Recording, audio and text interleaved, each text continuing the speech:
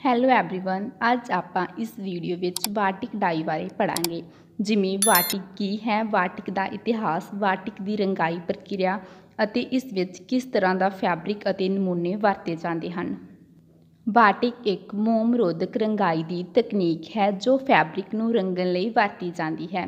ਇਸ ਵਿਧੀ ਵਿੱਚ ਫੈਬਰਿਕ ਨੂੰ ਰੰਗਣ ਅਤੇ ਇਸ ਉੱਪਰ ਡਿਜ਼ਾਈਨ ਬਣਾਉਣ ਲਈ ਡਿਜ਼ਾਈਨ ਦੇ ਕੁਝ ਹਿੱਸਿਆਂ ਨੂੰ ਇੱਕ ਪਦਾਰਥ ਆਮ ਤੌਰ ਤੇ ਤਰਲ ਮੋਮ ਨਾਲ ਕਵਰ ਕੀਤਾ ਜਾਂਦਾ ਹੈ ਤਾਂ ਕਿ ਹੇਠਾਂ ਵਾਲਾ ਫੈਬਰਿਕ ਆਪਣਾ ਅਸਲ ਰੰਗ ਬਰਕਰਾਰ ਰੱਖੇ ਅਤੇ ਦੂਸਰੇ ਫੈਬਰਿਕ ਨੂੰ ਰੰਗਿਆ ਜਾ ਸਕੇ।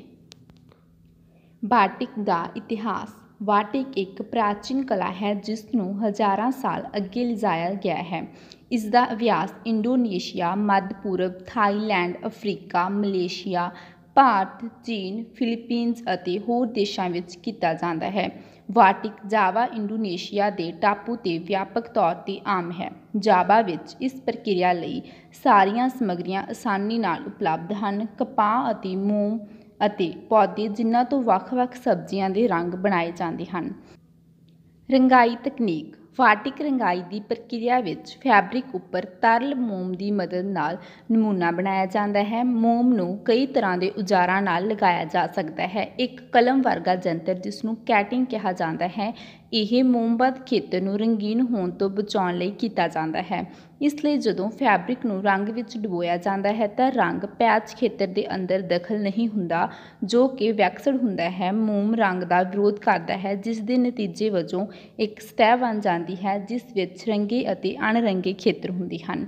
ਇਸ ਤਰ੍ਹਾਂ ਪੈਟਰਨ ਬਣਦੇ ਹਨ। ਕੱਪੜੇ ਦੇ ਰੰਗ ਵਿੱਚ ਡੁਬੋਣ ਤੋਂ ਬਾਅਦ ਤੇ ਕੱਪੜੇ ਦੇ ਸੁੱਕਣ ਤੋਂ ਬਾਅਦ ਪ੍ਰਤੀਰੋਧ ਨੂੰ ਹਟਾ ਦਿੱਤਾ ਜਾਂਦਾ ਹੈ ਅਤੇ ਰੰਗੇ ਅਤੇ ਅਣਰੰਗੇ ਹੋਏ ਖੇਤਰਾਂ ਵਿੱਚ ਪੈਟਰਨ ਬਣਦਾ ਹੈ। ਇਹ ਪ੍ਰਕਿਰਿਆ ਜਿੰਨੀ ਵਾਰ ਲੋੜੀ ਦੇ ਰੰਗਾਂ ਦੀ ਗਿਣਤੀ ਵਿੱਚ ਦੁਹਰਾਈ ਜਾਂਦੀ ਹੈ।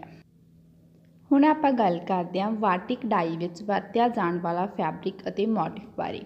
ਵਾਟਿਕ ਕਲਾਕਾਰ, ਸੂਤੀ, ਰੇਸ਼ਮ ਅਤੇ ਹੋਰ ਫੈਬਰਿਕਸ ਦੇ ਵੱਖੋ ਵੱਖਰੇ ਮੋਮ ਅਤੇ ਰੰਗਾਂ ਦੀ ਵਰਤੋਂ ਕਰ ਸਕਦਾ ਹੈ। ਵਾਟਿਕ ਰੰਗਾਈ ਆਮ ਤੌਰ ਤੇ ਸੂਤੀ ਕੱਪੜਿਆਂ ਉੱਪਰ ਵਧੀਆ ਕੰਮ ਕਰਦੀ ਹੈ।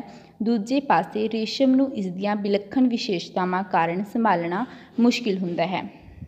ਵਾਟਿਕ ਪੈਟਰਨ ਅਤੇ ਨਮੂਨੇ ਬਹੁਤ ਸਾਰੇ ਵੱਖ-ਵੱਖ ਕਿਸਮ ਦੇ ਹੁੰਦੇ ਹਨ, ਜੋ ਅਕਸਰ ਸਥਾਨਕ ਸੱਭਿਆਚਾਰ ਅਤੇ ਪਰੰਪਰਾਵਾਂ ਨੂੰ ਦਰਸਾਉਂਦੇ ਹਨ। ਕੁਝ ਪੈਟਰਨ ਜਿਵੇਂ ਕਾਬੰਗ ਅੱਜ ਜ਼ਿਆਦਾਤਰ ਡਿਜ਼ਾਈਨ ਦੋ ਸ਼੍ਰੇਣੀਆਂ ਵਿੱਚ ਆਉਂਦੇ ਹਨ। ਪਹਿਲਾ ਜਮੈਟ੍ਰੀਕਲ ਡਿਜ਼ਾਈਨ ਹੁੰਦੇ ਹਨ, ਜੋ ਇੰਟਰਲੇਸਿੰਗ ਚੱਕਰਾਂ ਜਾਂ ਹੋਰ ਆਕਾਰਾਂ ਨਾਲ ਬਣੇ ਹੁੰਦੇ ਹਨ। ਇਹ ਗੁੰਝਲਦਾਰ ਨਮੂਨੇ ਵਧੇਰੇ ਪਰੰਪਰਾਗਤ ਹੁੰਦੇ ਹਨ, ਜਿਨ੍ਹਾਂ ਵਿੱਚੋਂ ਕੁਝ ਪੀੜ੍ਹੀਆਂ ਲਈ ਪਾਸ ਕੀਤੇ ਜਾਂਦੇ ਹਨ। ਸੋ ਅਸੀਂ ਕਹਿ ਸਕਦੇ ਹਾਂ ਕਿ ਵਾਟਿਕ ਮੋਮ ਰੋਧਕ ਰੰਗਾਈ ਹੈ, ਜਿਸ ਵਿੱਚ ਮੋਮ ਦੀ ਮਦਦ ਨਾਲ ਬਹੁਤ ਸੋਹਣੇ ਨਮੂਨੇ ਅਤੇ ਡਿਜ਼ਾਈਨ ਬਣਾਏ ਜਾ ਸਕਦੇ ਹਨ।